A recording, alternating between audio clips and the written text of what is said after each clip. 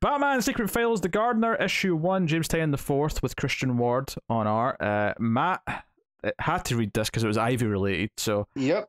uh, feel free to tell us all about it. Yeah. So just like the other Secret Origin issues, it's the you know origin of the gardener and how she relates to Ivy and the Green, and uh, we find out that she's not necessarily a bad guy, but she is kind of a mercenary that puts out her her you know her it's not even an ability but her science to the highest bidder. And you find out that her you know um her dad was german her her mom was congolese and you know she they died in a car accident when she was young and so she felt like she didn't have any connection to either side of her family. And the um the people that took her in were actually the gardeners that you know lived in you know next door and so they raise her and she has this appreciation for plants and which leads to her into her field where she goes off to school to study you know plant science and botany where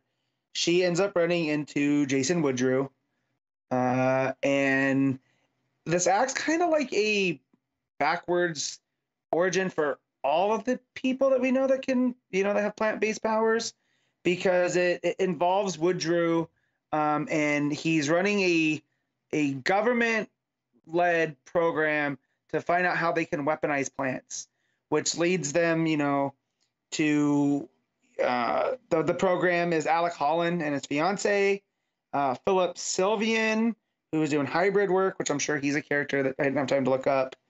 Um, but most importantly, uh, a young Pamela Isley who is doing research into, you know, plant pheromones and how they're stronger than than mammal pheromones and how you know that can be used. Um, and she's you know there's the page where they get introduced. It's just fantastic. Um, but those two hit it off, um, and they end up uh, in a relationship, and it makes her it makes the gardener question what she's gonna do because her science involves giving plant life monstrous features. So she she messes with seeds and can basically turn them into these kind of they're very similar. Remember in Stranger Things, you had the the I forget what Dustin named it, but you had the creature that uh, you know that was running around. He kept it like a pet. Oh They're yeah, like that. season two. I think it was season two. It's very much like that, and they end up growing into her too. like plant wolves that she keeps around that uh, that guard her. Um, but it, the way that that Pam looks at life and just how she wants to the best for everybody, and you know, it makes her start questioning the work that she's doing for this government program, and but she also sees that Pam Wall in a relationship with with Bella, who's her real name. Um, she's also doing stuff with Woodrue to try to get ahead, and it's it's that that damns her into becoming one of Woodrue's experiments that leads her to becoming Poison Ivy. And what's important here is that that Tynion really does make the difference. That there is a difference between Pamela Isley and Poison Ivy. Like when this happened, Pamela Isley kind of went away and Ivy took over, and all of her kind of negative features is what went into Ivy, where she started to. It started just with the pheromone stuff because that's what she was working on, that's what she control.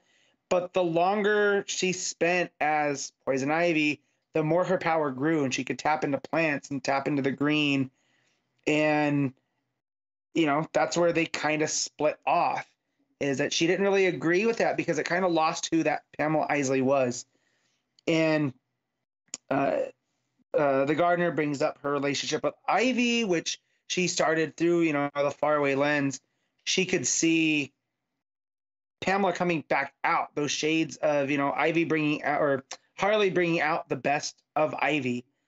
And, uh, you know, she was happy for her um, up until she ended up, you know, splitting and becoming this Queen Ivy, right? Because the, the good part of her died, which I'm sure is kind of a a reference to the book that we don't talk about, right? Like that happened.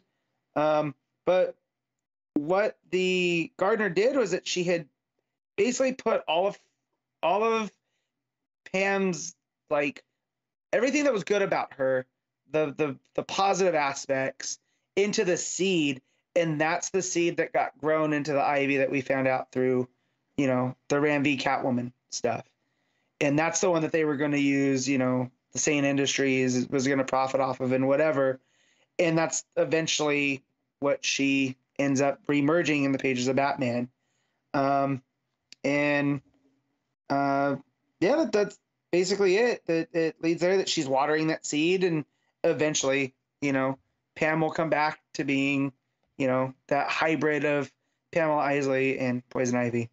Uh, it was I really enjoyed the issue. Like it wasn't just because it was an Ivy. It was a nice, you know, trip through like how the green, you know, how it's been used through DC in the past, and how maybe, you know, them weaponizing it is is it eventually, you know, like Ivy wasn't a, a creation of Pamela Isley. It was a creation of how, you know, circumstances led to her, and that ended up that ends up being why they can restore her. So um, the art's fantastic. It's very moody.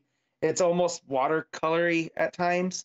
Like there's a lot of pages that bright greens and you know balanced with purples and blues, um, and of course red. Red's the reoccurring, uh, you know, the reoccurring color motif. It's Gardener's costume and Pam's hair. So, um, yeah, just really enjoyed it. So I'm gonna give it an eight.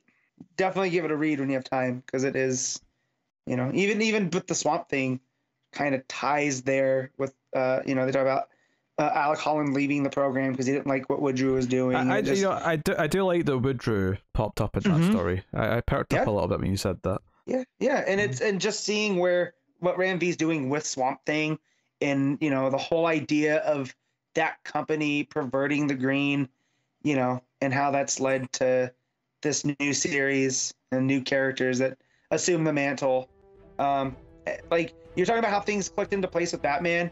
It's how I feel stuff's going with with the green side of DC right now.